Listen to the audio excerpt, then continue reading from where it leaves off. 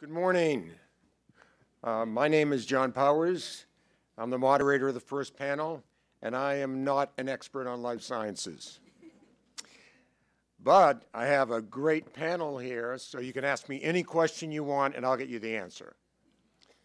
Boston Properties is a leader in life sciences, but not in New York. We are the largest landlord in Boston and Cambridge, and also the largest landlord in San Francisco. So as a company, we are the largest office cap with about $30 billion in the country. So we do have some experience with life science, and we know that this is ripe for New York and can come to New York. Nancy, that was a great presentation, but the question is, how does all that really happen here? We have few sites. We don't have any of the space, or 1.7 million, Mitch said. We have little of the space that we need to have to attract life sciences, and we all know that New York is a complicated place to do real estate deals. Uh, there's few sites. Uh, the, we have a very complicated approval process, and how does that all work? But nonetheless, things get done in New York, and we've seen over the last 20 years a huge transition in the, in the makeup of the, from the FIRE sector to the TAMI sector, and now tech is large in the city and becoming larger and larger. So I think this will happen. I'm not sure how it happens. I'm not sure when it happens. And I hope to know a lot more about that at the end of today. So let me start off by asking one of our panelists who's been around a long time and has a lot of experience in, in, in Cambridge, uh, how, which is one of the great centers right now for life sciences, as you know, how it happened there.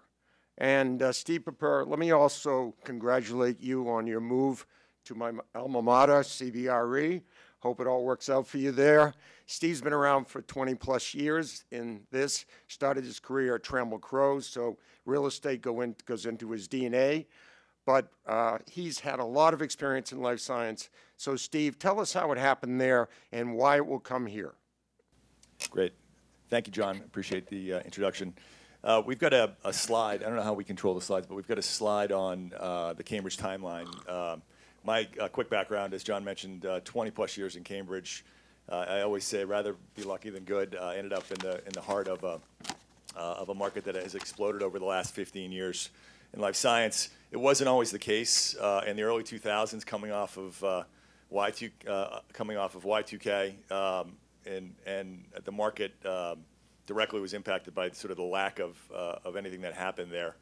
Uh, the Cambridge market was, you know, 30% vacant. Uh, rents were uh, bottoming, bottoming out as one of the softest markets in the, on the East Coast. Uh, the life science uh, market was in its infancy. When, you, when you see the slide in a second, you'll see in the early, in mid and late 80s, there was a few companies that, that you'd recognize the names that had grown up in Cambridge. Biogen, Genzyme, Genetics Institutes, uh, you know, in New York, you had an example of Regeneron. You know, I think it was in the late 80s that started uh, with some technology out of Columbia. Uh, in general, uh, the life science market was so speculative, as Nancy mentioned, uh, that uh, the only the, the, only investor in that in that sector was the federal government. So we used to track NIH funding. The NIH funding would get announced. It would be dedicated towards academia and towards healthcare. and so the life science research that happened uh, similarly in New York happened around the hospitals and, and the institution, institutions. Thank you. Great.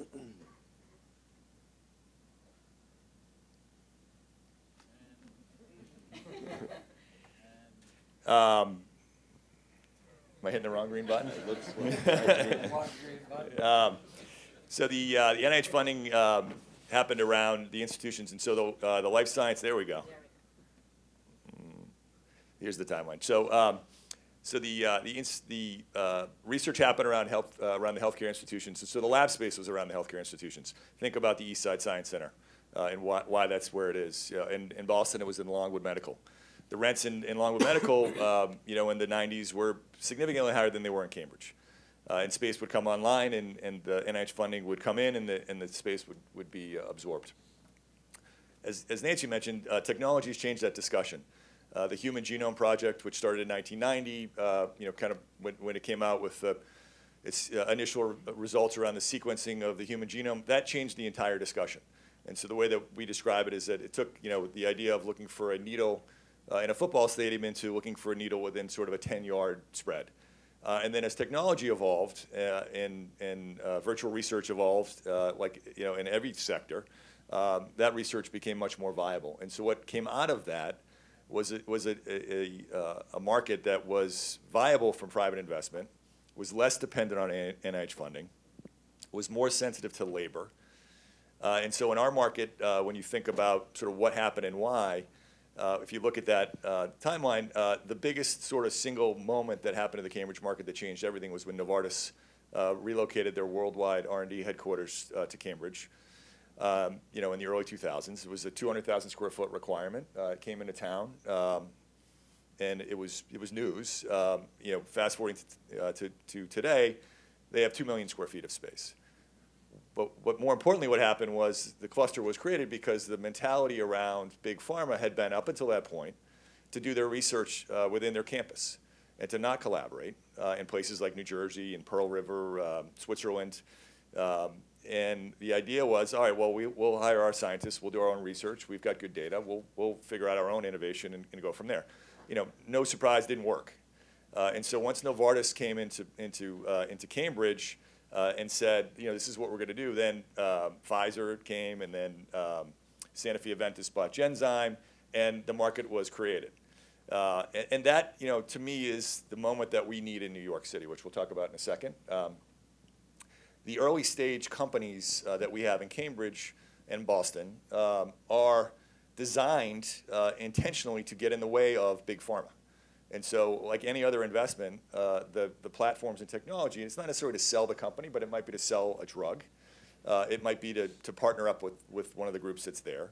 Uh, so the technology is, you know, is basically designed and funded in such a way that they can get to speed to market very quickly, and the large pharma companies will, will come in. The market has grown significantly, which we'll see in a second uh, in Cambridge. Uh, so if you look at it uh, from an overall market size, you know, we're about 107 million square feet of, of lab and office space in Cambridge today. 10 years ago, we had about 11 million square feet of lab space. And today, we have about 18 million square feet of lab space. And in 10 years, I think we'll have 28 million square feet of lab space. The, the growth uh, on average, really over the last 15 years, has been around 600,000 square, square feet per year. Over the last 10 years, has been almost 700,000 square feet per year. So, you know, it's a big number. Uh, it's not obviously, uh, we had, a, you know, 2007 and 2008 was bad for us too. Um, you know, the good years were, were better than that. But pretty significant growth that in, in aggregate adds up to a pretty significant amount of, uh, of space.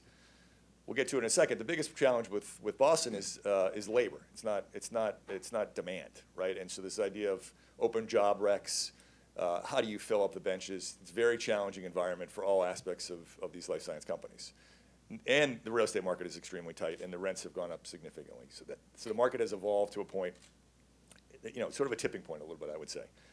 Uh, New York, you've heard the you know the number 1.8 million square feet. Um, over you know 472 million square feet. I mean, it's just it's just a, it's such a crazy uh, you know difference between the markets and what's happened. Uh, you know, we we think that uh, if you project a conservative amount of square footage on the growth side, which is 500,000 square feet, so if you think if Boston is 700,000 square feet, you know, in New York, if we said 500,000 square feet a year, you roll that over 10 years, obviously you end up with, you know, 5 million square feet of growth in the market. I think that's a very realistic number.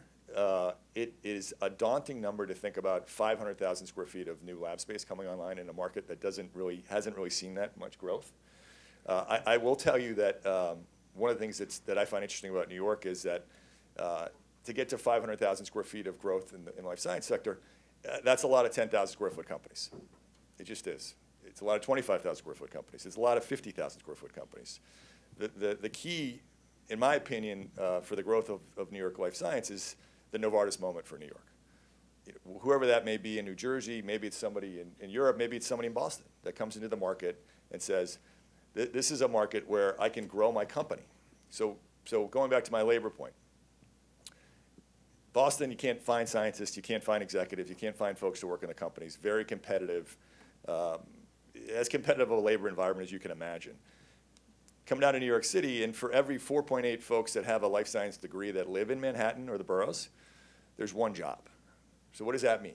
It means you've got an excess of labor here, it means that that labor is either working in other industries or is commuting out to New Jersey. I cannot tell you how many folks that I know in this industry uh, that are commuting out, that live in Manhattan, that commute out to New Jersey, right? And so, my opinion is the way to connect the dots is to, to connect the concept of the labor is here, the science is here, obviously the, the, the money is here, the institutions are here, and you've got a, a, a the most creative real estate uh, development community in the world, right? And so I think the idea around it is to pair up the concept of creating these incubator labs that are going to be the early stage companies, and then attracting, you know, a company that's in New Jersey uh, that might have a presence somewhere else that is having a challenge on the labor side. And you think about, you know, sort of how you would do that and how accessible. As someone who commutes to New York every week, I can tell you this is a very accessible commute.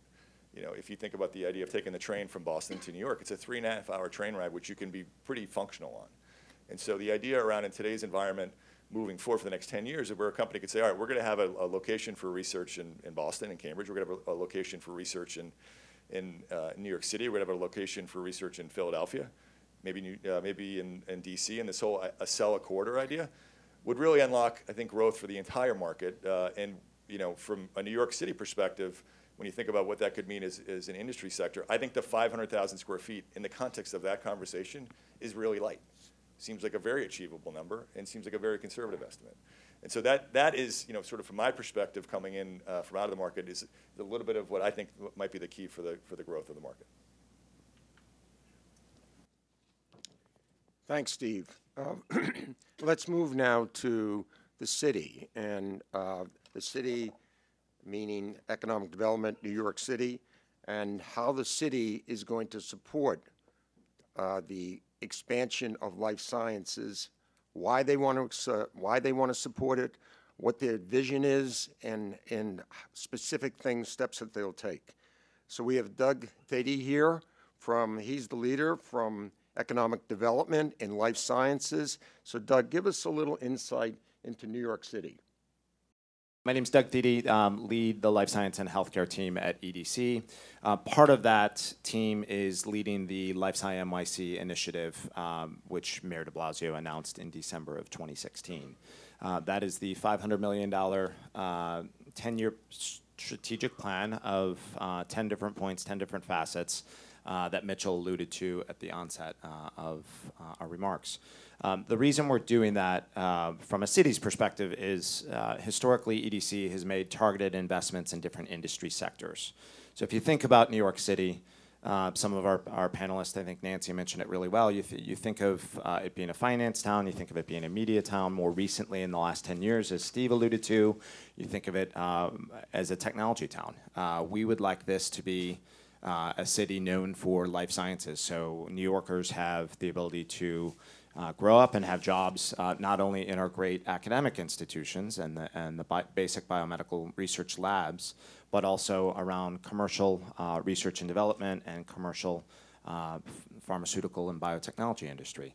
Um, historically, uh, New York City has had great institutions similar to Boston, as, as Steve mentioned.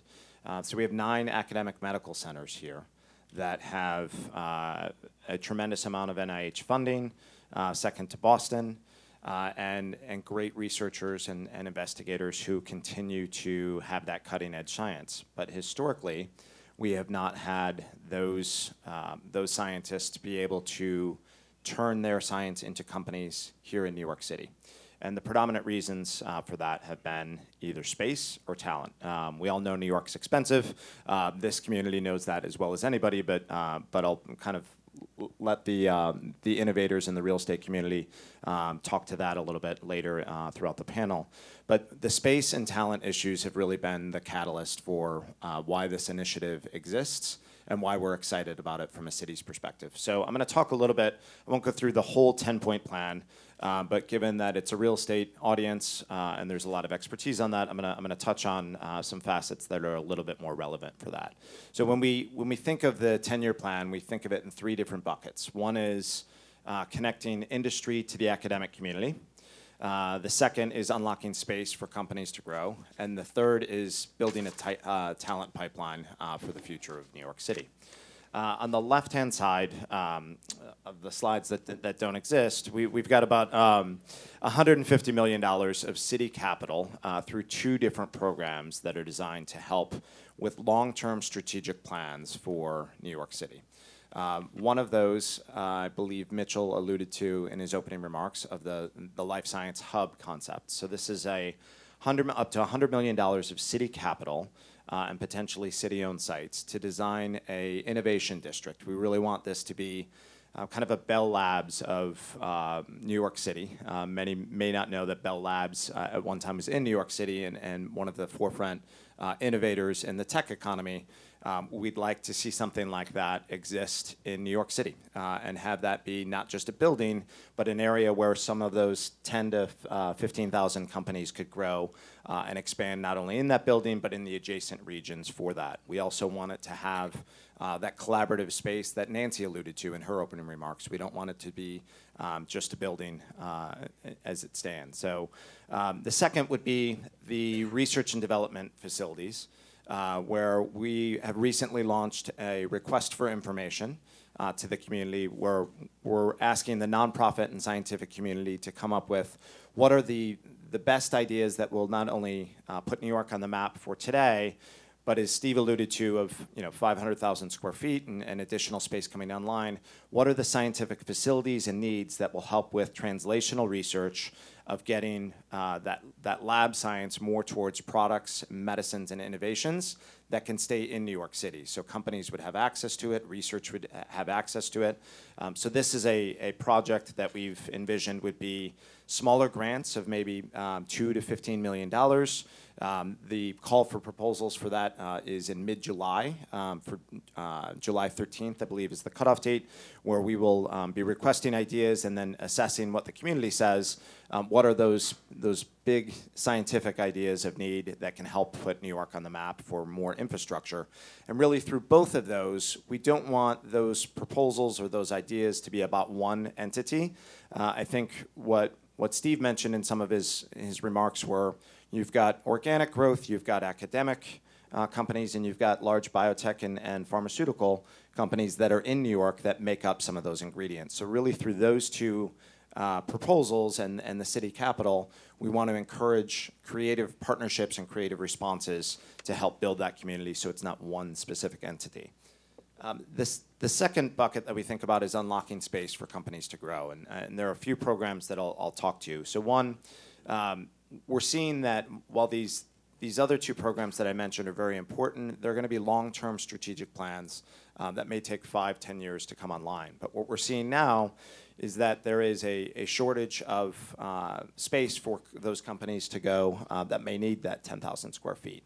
So we've launched two concepts. One is our IDA tax abatement program, uh, which is a discretionary benefit program of up to $300 million in real estate tax abatements um, that the city could control um, to help uh, bring lab space and life science usage online. So uh, this may be um, throughout all five boroughs of New York City. Uh, it's something that we've seen an extraordinary amount of activity from both the traditional real estate uh, community in New York City that is now considering life science usage, as well as uh, other entrants from uh, different markets that have uh, extensive lab and life science experience from other markets that are now considering New York uh, for some of the statistics that Steve had mentioned earlier. Uh, the second program is a little bit more near term of maybe helping some of those companies um, that need five or um, 10,000 square feet uh, and don't have a place to go. And that's designed through expansion space funds, which is also a discretionary program that we've recently launched, where companies uh, and developers can, can apply to uh, EDC for either a loan uh, or perhaps, depending on the stage of a company, um, for uh, a convertible note to help with fit out of space. So if you were considering, um, for just example's sake, fit out of, of this space to go into more of lab usage, um, how could we help um, use EDC funds for fit out of that space, closing the gap between what uh, a CEO of an uh, emerging startup would be looking for and what the real estate developer is looking to cover the cost to get this life science ready. Um, so those are a couple of the interventions that we've been focused on now. Um, we've, we've spent a lot of time with the, uh, the broader community trying to figure out what are the near-term needs uh, to help with those, those space challenges. Um, the last component that I would say, and, and folks have alluded to it, uh, are really the incubators. So we're very excited that for a long time, as you came out of the academic community, um, you didn't have a place to go as far as um, you had to stay in your lab space. Now with uh, biolabs coming online later this year, JLabs opening um, in the Genome Center next week. Uh, Launch Labs uh, opened up last year in Alexandria Center. They're about 100,000 square feet for startups to grow. It's not quite at that 500,000 uh, square feet that Steve alluded to, but we feel that there's a very good path there now, but we're trying to focus on where do those companies go next. Thanks very much. Um, Before we mo- move on, let me just ask you uh, to st- uh, to stand in. We don't have anyone from the state here, and uh, I know you're not speaking for the state, but you're very aware of what the state's view of this is. So maybe you could comment on that.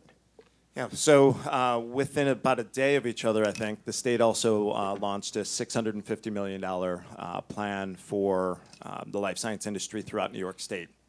Um, it is uh, something that we have worked very closely with our colleagues at Empire State Development. Uh, I think if you ask them, they might say uh, a lot of our focus here is um, at EDC is more on these real estate-based initiatives. Um, they're going to be looking at things not only within New York City, but throughout um, uh, throughout different areas. I think recently they've launched a project of um, called the Empire um, Development. Um, uh, it's EDI, the Empire Development um, Innovation Group, I believe, that is really trying to look at translational research through four uh, upstate entities. Rochester and Buffalo, I think, are two of them, which is modeled off the Tri-I um, TDI program here through some of our institutions on the Upper East Side.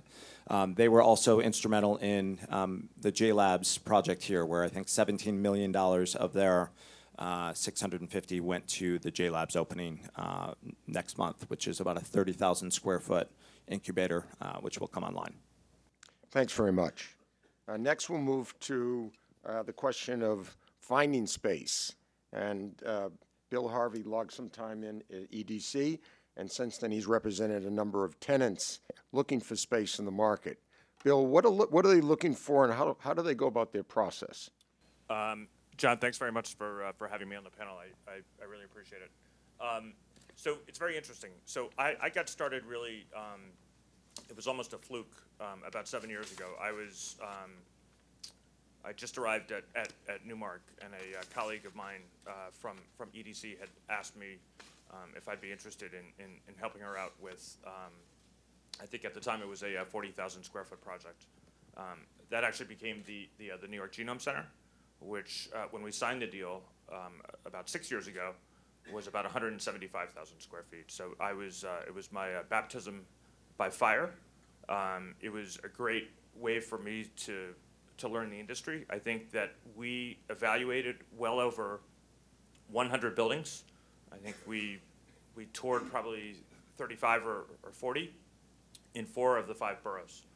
Um, I think that the lessons that we learned there and then are still applicable today.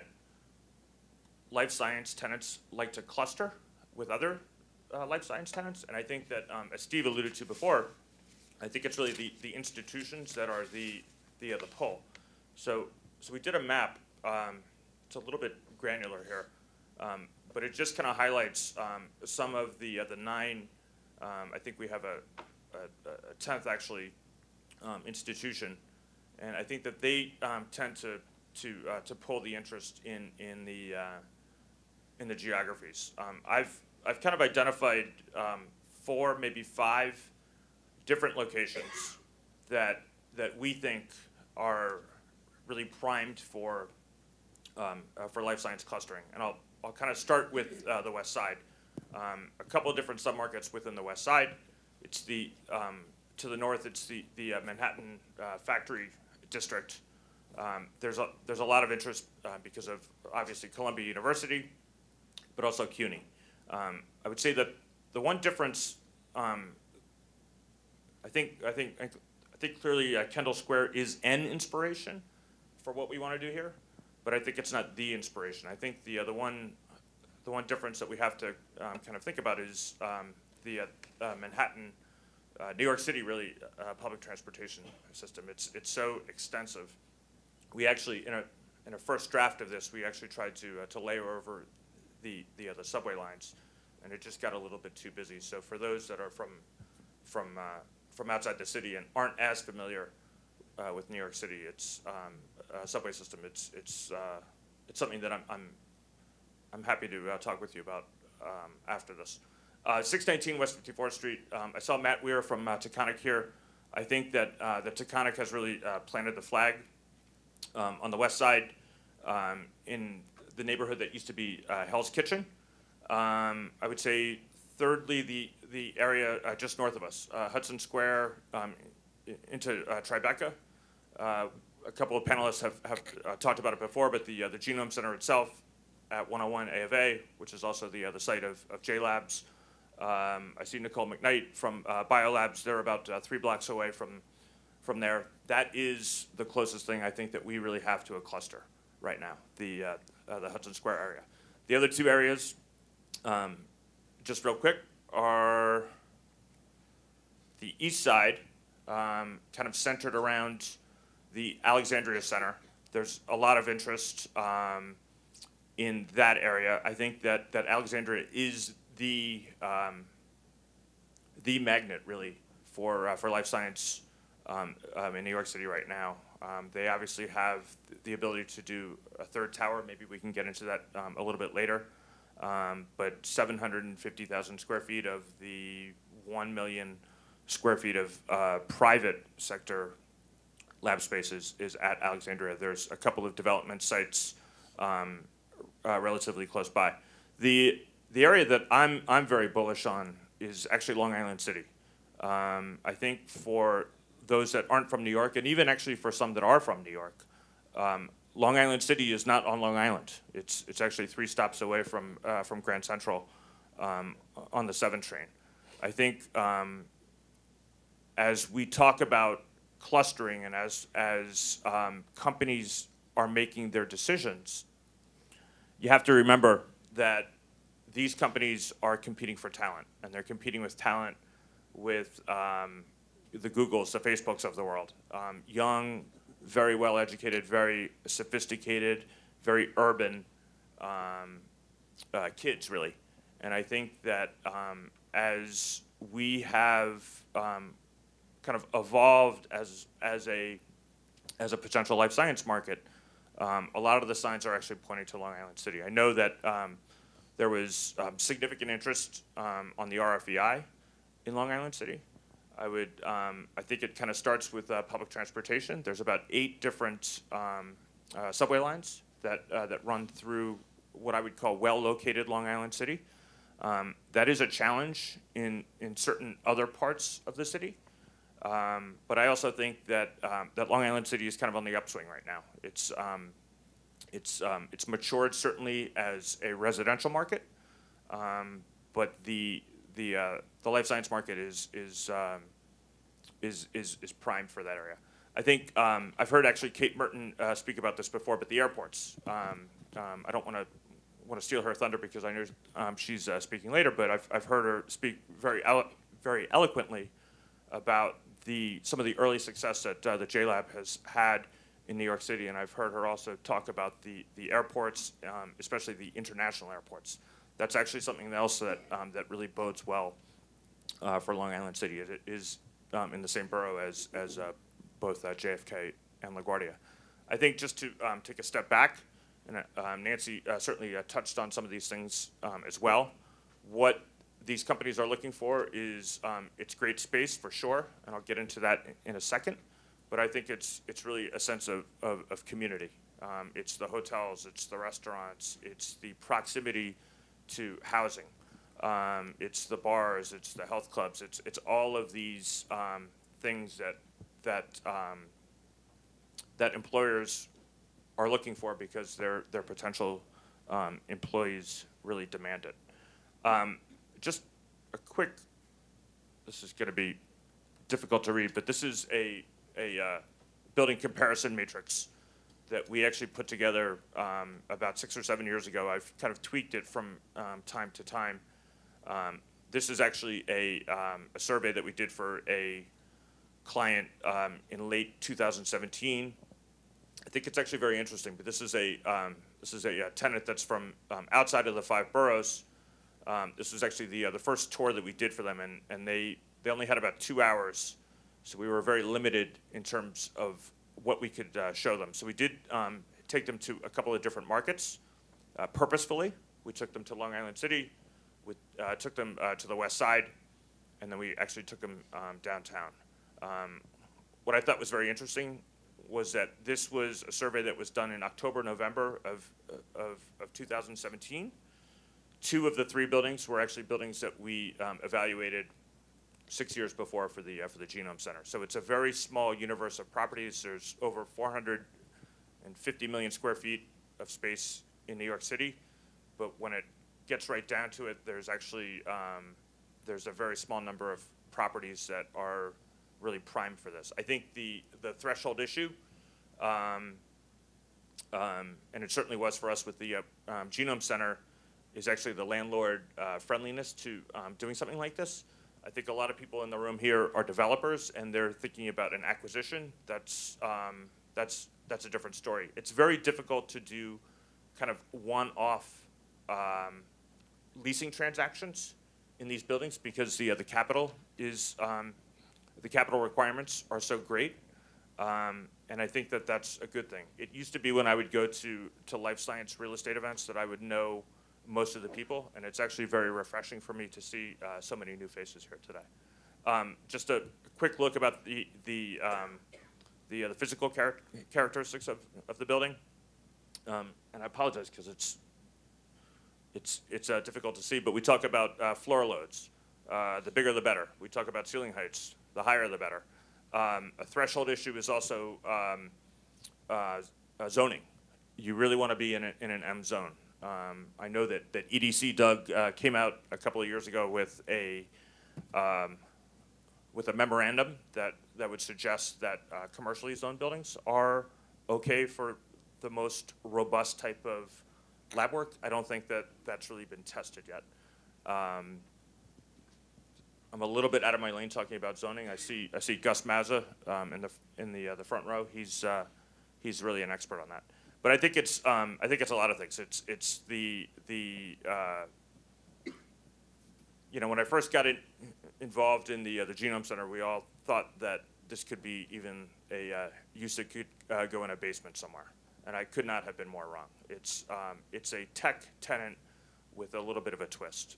Um, obviously, the uh, the wet labs, but I think that um, I think that the same drivers that um, kind of went to create uh, to turn uh, Midtown South into uh, the market that it is today are really kind of at, at play with uh, life science as well. Thanks, Bill. Uh, Before we uh, move on to drilling down on the buildings, Steve, I'd like to go back to you. So Bill put on the table Long Island City, Alexandria in the east, and the west. What's your choice and why? Uh, can I pick the fourth category of uh, around Penn Station uh, as, a, as a location that I like? Uh, um, That's the West. um, you know, I just I feel like New Jersey is very important um, from a labor perspective. Uh, you can have all the scientists in the world, but you need the executives to run the companies. And I think if you talk to the VCs uh, that invest in this sector, I think their big question mark and concern in, in New York City is lack of executive leadership for these type companies. Uh, you know, those clients of ours in, in Boston are on their fifth, sixth, seventh company uh, that they run the actual companies. Uh, that that labor pool uh, lives in New Jersey, and so uh, when we got to town, we were big proponents of the West Side. We continue to be big proponents of the West Side.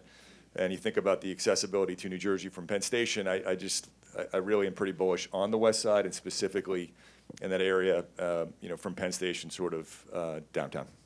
Thank you. So the, you said the, the, the Jersey label lives in New Jersey as well as works there, and that's a critical point in terms of the developing life science companies. Yes, yeah, I mean, I, I believe that as uh, the life science labor uh, pool moves to the suburbs, as they get, you know, as they get older, uh, they move for the most part to New Jersey. Uh, they you know, a lot of them actually work in New Jersey while they're living in Manhattan, as I mentioned earlier. Uh, and if you look at the, you know, the, the pharmaceutical companies that are in New Jersey, if you're in the sector, it's just a natural, natural pull. And we've done the uh, analytics for quite a few of our companies that are in Cambridge, I mean, that are in uh, New York City. And once you get to a certain level, uh, the pull um south uh, to New Jersey is, is very significant. Okay, thank you. Let's move into the specifics of the buildings now. We have a, we have a slide up here, hard to read, but it shows different floor plates and different uh, floor loads, different uh, configurations. And we, we asked Steve Gifford, who's with Perkins Eastman, had, and has been designing lab space and uh, looking at buildings for a long time. Steve, give us a little insight into what we need for the buildings to function effectively for life science. We have a, we have a large building stock in New York, but they don't all have large uh, floor loads, great floor plates, and uh, ceiling heights are very challenging. So help us out and, and, and give us a little insight, Steve. Thanks. So uh, I get really excited about envisioning research space that really uh, accelerates discovery. That's what it's all about. We need to create environments for researchers in old buildings or new buildings that help them collaborate, do their interdisciplinary work, and really accelerate, because everybody wants the discoveries faster and faster these days. So I'm going to talk a little bit about physical characteristics and, and, and also the spaces, not just the lab spaces, but uh, I, I like to think a lot of discovery happens outside the lab, and it can really happen everywhere. So we need to create exciting, transparent spaces for researchers uh, to get through their day and be successful. I'm not going to go through all these bullet points, but uh, the lab trends include a tremendous need for flexibility, for plug and play. Uh, gone are the days of solid walls and fixed casework. It's all movable casework, it's all transparency, it's all people seeing what others are doing and sharing their ideas. Uh, so the trend, if you go back a little bit, uh, if you looked at a lab facility, it would be mostly open uh, lab benches. Uh, but then uh, equipment became so much more important. So these days, the equipment, the lab support spaces are, are equal in uh, square footage to the open lab benches. The other thing that's really transformed laboratory environments is computational research. So you see in this chart, you see in the orange the office space or, or you know, uh, technology space has increased. And, and that's going to continue to grow. Nancy referred to that. It's all about the relationship of wet uh, research to computational research. But what's really happening now is the collaborative core. We're, we're pushing the equipment. The equipment has to be convenient, but, but we really want the people in the center of activity because that's where the ideas are and that's where the creations uh, take place. So not going to go through all these statistics, but if you have a research group that's more heavily uh, wet lab researchers, it's going to require more assignable square feet per researcher. Uh, many uh, research groups are hybrid, computational and wet, a little bit less square footage. And the dry researchers are really more like what you would design for office space, technology space. Um, Bill talked about uh, I totally agree with him. You know, there are some standards, some uh, kind of, I've listed some minimums, but in science, the, the higher the floor loading, uh, the better off you are. The higher the ceilings, the better off you are. Uh, columns can be a problem.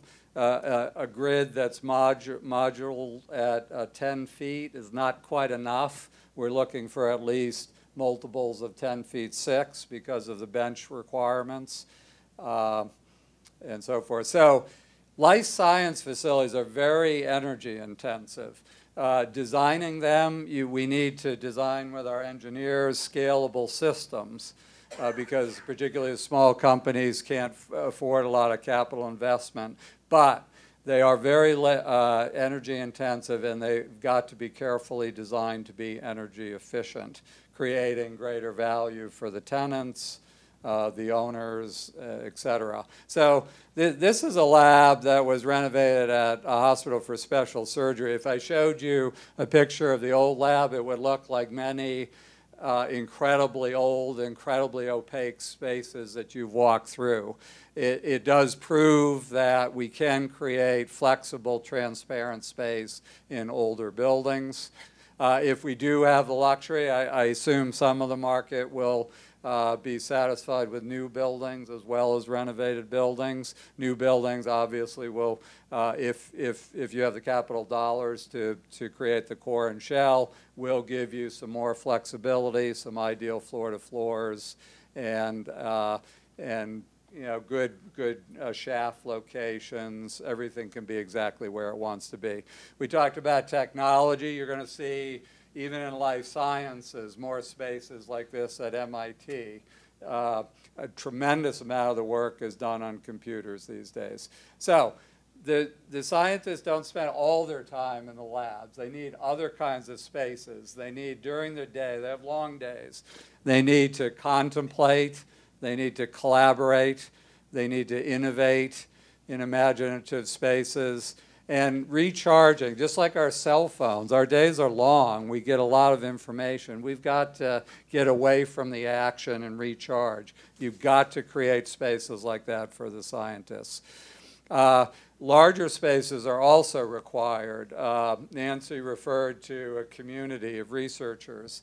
Uh, researchers want to be next to each other, even if they're competing companies. They want to they want to be in a shared environment. So within the building, we create spaces that by day are for small collaboration, by night beca- can become a forum space. Uh, the Kennedy School at Harvard is like one of the best examples of this. It's this incredible uh, daily collaboration space for small groups, but at night, almost every evening, they have a presentation and uh, an idea exchange. Uh, the younger generation is coming in. They socialize around food. Food is very important. Uh, so buildings need to have gathering spaces that are rich with, with food and social opportunities. And uh, the lower right-hand corner is a space. Uh, I had the pleasure of working with the Mayo Clinic in Rochester, Minnesota. Now, they obviously don't have the advantages of New York. Their challenge is to create some of the things that already exist in New York. Uh, they needed to create a destination place, a place where venture capitalists, companies, and the Mayo clinicians can get together and work on projects together. It's going to be a tough challenge in Rochester. I think New York. Uh, I'm also very bullish on New York. New York has so many of the things already that Rochester wants to create for themselves. And uh, uh, really, you need to create an ecosystem. It's not just about the buildings the researchers work in. They want an exciting live, work, play, urban environment. And what city is better than that uh, than New York? I'm not going to go through all this detail, but uh, older buildings can be great in terms of transforming, but they've got to be transformative on the inside. They've got to be those transparent, flexible spaces on the inside, uh, cool spaces for researchers. Uh, we analyze the, the, different building components on the right. Uh, the structure of the building, if maintained, can last in over 100 years. The skin of the building, uh, you know, 60 years or so until it needs to be repaired. Mechanical systems change over time, and they do need to be replaced about every, you know, 35, 40 years.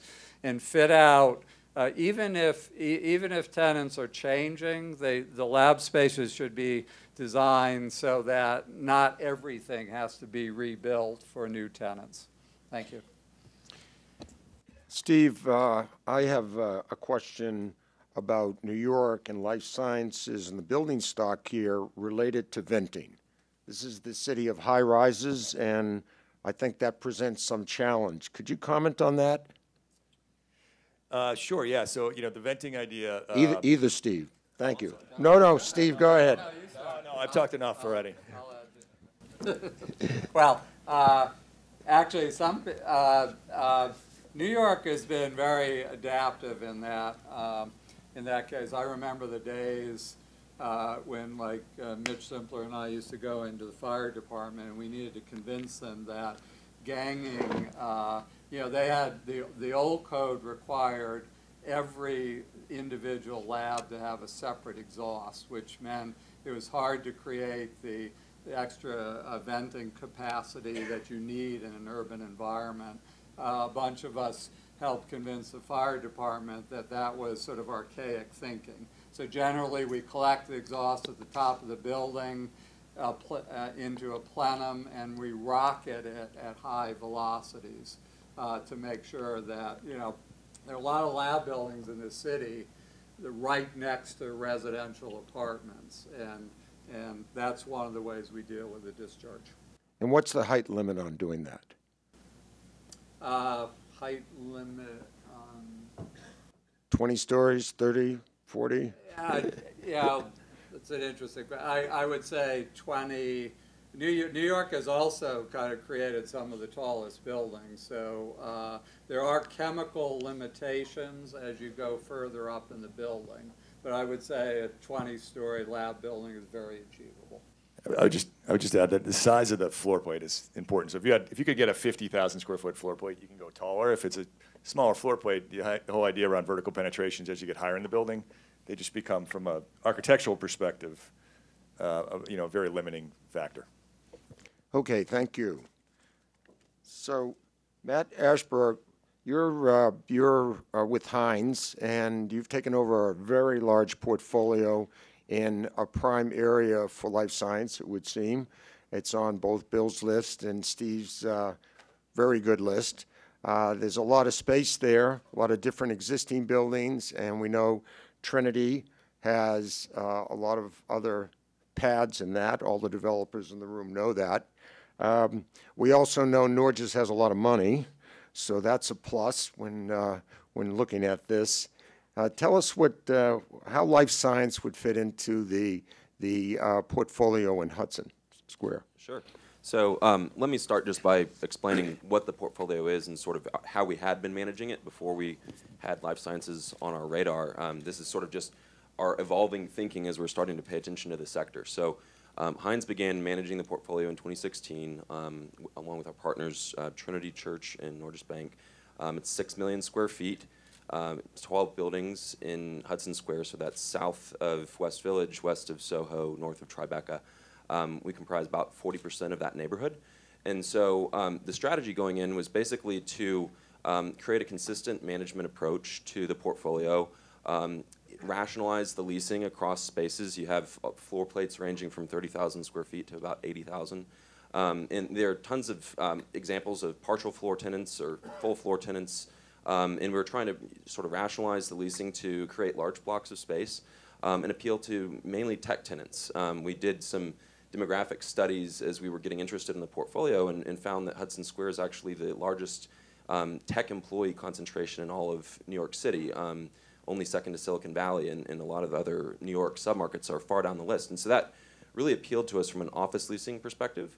Um, one of the levers that we've been trying to do, um, just generally in the portfolio, is improve the ground floor. So we've talked a bit about um, the appeal of live, work, play. We've got a whole retail leasing strategy to improve the ground floor experience and bring a lot of new food and beverage into the portfolio. Um, so as we've been going about that, it, we've had a lot of success on the office leasing standpoint. Um, but we've also taken note of what Doug's described as far as the city's support for life sciences and seen what Alexandria has been doing. And so it's, it's just been um, pretty obvious to us that we need to get our arms around this space and understand sort of what it is that we're missing out on if we don't um, turn an eye toward life sciences. So um, this year we began um, a study effort, um, starting with meeting Nancy through Mitch. Um, so engaged Nancy Kelley and Associates and JB&B and Hunter Roberts and Elkus Manfredi and Milrose um, and CBRE and Newmark, all to gather around our partnership and sort of advise on um, how should we think through the trade-offs between either stay the course, do office leasing, or think about conversion of a building at some point in the future, or buildings at some point in the future to allow life sciences. So the way we approached it, um, we basically started a study where we took an inventory of some basic building characteristics across the portfolio, um, came up with four candidates that we thought were, um, you know, good uh, physical candidates for, um, for conversion. They all had um, 11.6 to 12.6 clear heights, 250-pound live loads, um, all sort of medium height buildings with fairly large floor plates, you know, starting at about 30,000 square feet. Um, and in many cases, they had latent elevator shafts that could be used for penetrations already going through the building that would allow shaft space. And so, um, but we also have a 10-year CapEx plan that's sort of slated for a, a, very logical way to do CapEx for office use in the portfolio. So the question became, you know, can we study buildings and figure out where the tipping point is where we might get comfort in changing to life sciences at some point in the future. So we started with four buildings. We decided to narrow it down to one building as far as a first study project. Um, and we just approached that building very logically using Elkus Manfredi to design um, floor-by-floor test fits. We, we took sort of a progression of whether you would have an anchor tenant in the building or floor-by-floor leasing. Um, we thought about an idealized um, world where you would have the tenants that have the most requirements for shaft space located higher up in the building and ideally find a tenant that has lesser need for shaft space lower in the building. So that factors into some of the logic. Um, JB&B helped us identify where we would run vertical penetrations through the building, in this case using one elevator shaft as the main means of um, vertical connectivity. And then we also thought about, you know, there are trade-offs that you start going down where, um, like talking about venting, um, you need cannon fans to get rid of noxious fumes. And so those are somewhat noisy, they take up space. Um, if you go down that path, you'd have to think about maybe closing the door in terms of um, improving the rooftop for potential use as just a tenant amenity later in the um, life of the building. And so um, we, we basically conducted that study and, and gathered the results. And, and the punchline is um, it makes a ton of sense to convert a building to life sciences if you can get the internal resolve to do the full thing. Um, it's in the order of um, $70 million positive to our NPV over like a 10-year period. When we think about the, the costs involved is about 130 bucks a foot to convert the whole building. And then you, you get a, a chance to lease at, you know, to attractive profile of life sciences tenants. Um, on the other hand, it, it, doesn't make as much sense to convert starting at around a floor or two floors. So, so really the, the judgment we're coming to is it makes a lot of sense to think about your, your go-forward leasing strategy and think about where you have blocks of space that may come to market. And if you're left with a lot to lease, um, that's, it would be great to have another arrow in the quiver to um, appeal to life sciences um, tenants. And so we're sort of using that study as a starting point and still thinking about how we react to what the city's pursuing with the um, Life Sci initiative and, and thinking about just other tenants in the market that we're learning about through Newmark and CBRE and Nancy. Um, and so I guess we're considering it as some, sort of an open door and an opportunity for continued study, but it's definitely one of those things where you want to you want to do your homework building by building first to get the uh, the conclusions as far as how the building specs would align for leasing, and then think about whether you want to go there as far as a you know entire life sciences pitch, or if you want to have sort of a dual approach to you know still appeal to the office leasing market, but also um, you know, turn toward life sciences. Thanks very much. Um, could you share with us uh, what you projected for rents and for um, for to make? I heard the good NPV, so that's always Sure. perks me up a little. Could you the the rents and also the TI package, and maybe uh, one of the Steves or both of the Steves could comment on the uh, on the how much it costs to build out lab space for the tenant. Sure, absolutely. Um, so as far as the tenant fit out, I'll start there. Um, a lot of what we're finding is that it's it's really base building work required, and so um, you know it, it's around um, we are spending forty four million dollars for a three hundred fifty thousand square foot building, which is about 134 130 bucks a foot for the base building conversion. Rent, And- rentable. Is that Uh, rentable? Yes, that's rentable. Gross, yeah, rentable. rentable. Okay, thanks. Um, and so, so you start there, and, and that's really table stakes to even get out in the market and, and be able to offer a building with those types of specs. Um, for um, for the TI package, we've just keyed off of the Cambridge market, and we talked to Steve's team and Jonathan. It's on the order of it can go up to about 150 bucks a foot, but a lot of tenants don't demand that. So it, there's a large range actually, and, and I think we, we certainly wouldn't want to start by offering that. But it's it's um, I would say office TI package plus um, to get started. But the interesting thing is, once you have that type of a fit out, um, you know, we've, we've definitely been weighing the risks of, um, you know, the, the creditworthiness of life science tenants, tenants and especially growth companies. What happens if one, you know, blows out and you have to replace them? Often with an office fit out, and Steve, you could, you know, back me up here if you agree with this. Um, you need to, it's basically a long consultative process to get to what fit out is perfect for an office use, and it's very, you know, design driven, and it's it's got to match the exact branding of those types of companies. Um, for lab use, it, it's really more about the specs required for them to conduct their job, and so if it's built to a Class A standard, that's not going to go away a decade from now, and so the conversion TI is way less than you would need to spend day one, and so that's part of the math that makes it attractive on on a releasing scenario. Um, rents, I would I'd rather not uh, comment on the dollars, but I'd say it's it's a you know 20 to 25 percent premium on face rates of what um, of what we think that office tenants are willing to pay, and that's really just driven by the profitability of these companies. So the ones that it's a it's a good match where they are hungry for several floors of space. They're probably um, you know infused with enough capital to make it not as much about the cost of rent, and it's more about are they occupying you know, a good dot on the map that's perfect for their employees and part of a good building that allows them to do their work. And so it's, we think there's um, more willingness to pay for the right companies that you're able to find. Thanks. Uh, So, um, so my calculus says that's about 110 a foot. Uh, We would But, take uh, but uh, Steve and Bill, Steve Purr and Bill, could you comment on rents and what tenant, what rents tenants are prepared to pay? We have, we have developers here, and we're looking to fill out our pro formas. Uh, Sure, yeah. So um, it's funny because uh, when you uh, get to the point in the presentation where people want to look at comps, um, there's just not a lot to look at, uh, and so it's a little theoretical.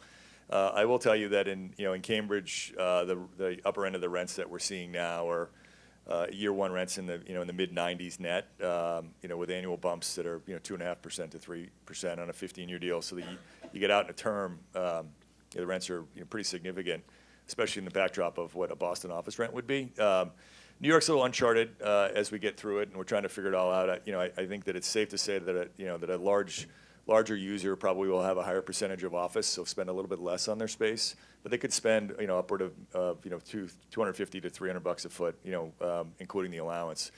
I think it's safe to underwrite rents, um, you know, pretty solidly. Um, you know, in the in the uh, upper 70s net and you know well-located product in, in Manhattan. Um, you know, I would just add the one other comment on sort of where it's going to happen. I actually think it's going to happen in, in all the different areas uh, for a variety of different reasons. I think there's a you know there's a place, you know, for another building with Alexandria for sure. There's you know, and that rent you know will be significantly different than maybe something in Long Island City. But I think there's a place in Long Island City, and then up in Harlem, the same thing. Uh, you know, I think it's safe to say that it's a significant premium off of what you would get from an office rent uh, in the marketplace. So I'd, I'd, I'd agree with that, um, uh, both on the numbers and also the locations. I think, um, again, if you look at the, uh, the Boston example, there's, there's Longwood, there's the, the Seaport, um, both in addition to uh, Kendall Square. Um, in terms of rent, I think it's, it's actually um, somewhat surprising for a lot of New Yorkers. We're uh, used to uh, quoting on a, on a gross basis. Um, I've, I think that the rents in Manhattan are 70, I mean, look at, from a landlord uh, perspective, it's, it's, it's as much as you can get. I think from, from a tenant's uh, perspective, there is a, there is a threshold of pain. I think that, um, you know, the rents uh, that we're hearing are 75, 80, 85 dollars uh, a square foot, triple net. Um, I think I think one of the advantages of going a little bit further afield, um, Manhattanville, Long Island City, is that you can be um, a little bit more competitive on on price. But I think that that one of the great perceptions um, of obstacle to to uh, life science real estate um, in New York City has uh, um, historically been cost, and I think that the Boston example um, really disproves that. Okay, thank you. We do have time for a couple of questions from the audience. We got a very good panel. I'm sure that there are things that you want to hear about. Do we have anyone? Yes. Do regional and metropolitan rail transportation challenges factor into your, your plans? Do regional and metropolitan rail challenges factor into your plans to build a powerhouse life sciences uh, industry in New York? I would just say, you know, and, I, I'm always comparing everything to Boston. Uh, compared to Boston, you know, as Bill said, the, the, uh, the transportation, you know, for those of you that live in New York are frustrated. It's amazing. You know, um, you know, I, I was saying to somebody earlier, like, I, you never ride public transportation in Boston, and our traffic is just as bad as yours. And getting into Cambridge, and specifically East Cambridge, um, is one of the most difficult places to get into. Um, so um, I think the, uh, the labor side of it and the accessibility of it um, will trump that. I mean, clearly, um, I always, you know, say when I first got here, the idea of, uh, you know, life science and, you know, everyone was pushing towards the outer ends of Brooklyn and sort of secondary locations that didn't have good public transportation, and, and it was a non-starter because, you know, I think the life science companies are, are people too, uh, and they live in, and they need to commute into the city as well. So I think obviously improved infrastructure uh, would benefit, you know, the life science idea, um, like any other sector. I would just add that uh, uh, Steve talked about uh, Penn Station, um, obviously Long Island Railroad, uh, New Jersey Transit, Amtrak. I'd, I'll, I'll plug Grand Central for those coming down from Connecticut and Westchester. Grand Central, um, a great transportation node. And again, I don't I don't want to be uh, seen as uh, shilling for Long Island City, but it's it's it's three stops away from uh, Grand Central. So the the uh, the tenant that I had uh, alluded to was actually coming from the uh, Connecticut area, and um, Long Island City was a site that they really liked because of the the, the proximity for public transportation. If you also think about some of the, the expats that that New York has seen, um, it's actually not only New Jersey, but if you think about the Regenerons, you think about the Acordas, they're actually north of the city as opposed to west. One more question? Let me add one thing on that sorry. point. Go- The- go the- I think the, the other part that plays into our calculus is just um, you why New York should show up on the on the radar as far as a growing life sciences market. I think in large part is due to the established presence of the universities and the healthcare systems, and so not just thinking about transit vis-a-vis a tenant and can you appeal to a certain company, but how are you relative to the other um, spots where you know those institutions could send people your way. So that's worked out very well for the Genome Center, and I think um, just have, having that awareness of how do you fit in the whole scheme, and because it is about the people and and about not just one company, but the interconnectivity of people making their way to your space. Yes. And the- Hi. Um, I mean, I know you're talking to a lot of real estate people, but a little bit of this sounds like if you build it, will they come? And and thinking about how we've done it, frankly, in the past, uh, you know, there were a couple of things that really made New York a tech hub. Um, one was the fact that the people were here, and we just kind of brought an association together, and you know, the bigger companies came because the smaller companies were here, and the and the um, you know innovation was here. Um, you know, what brought Novartis to uh, to Cambridge? Was it the fact that uh, there was cheap rent, or there was real estate, or was it because there was institutions and there was an association, and uh, you know, it's, I mean, not build it and they will come, but here it is and build it for them. I think is a much uh, greater. Doug, you want, to- do you want Yeah. to start us on that? I'll at least start. So um, I, I think we that's something we hear at EDC a lot. Um, I, I think one example that you can point to where it's worked is the Alexandria Center.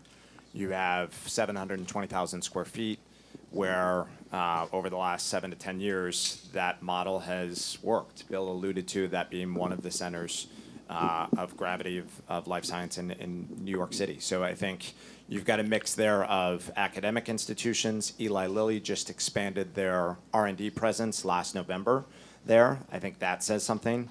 Uh, certainly in the market, and you've got growing companies, some of the uh, VC-backed companies that uh, Mitch referred to it in his opening remarks are based there as well. So um, it's not to say that that's um, you know if you build it that will that will happen by any means. But I think one of the things we're seeing is other entrants besides great organic growth, which is, is starting to come uh, with a higher volume and higher quality, where you've got significant venture capital raises. You're also seeing uh, large pharma and biotech companies pay more attention from a real estate perspective.